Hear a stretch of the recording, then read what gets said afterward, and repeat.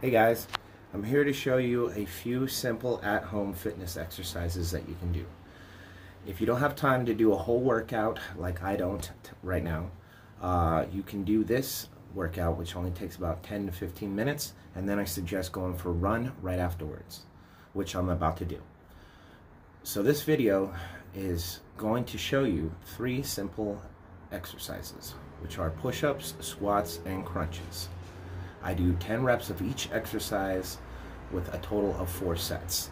If you have any questions, I have plenty of at-home workouts I can send you and a bunch of different fitness tips.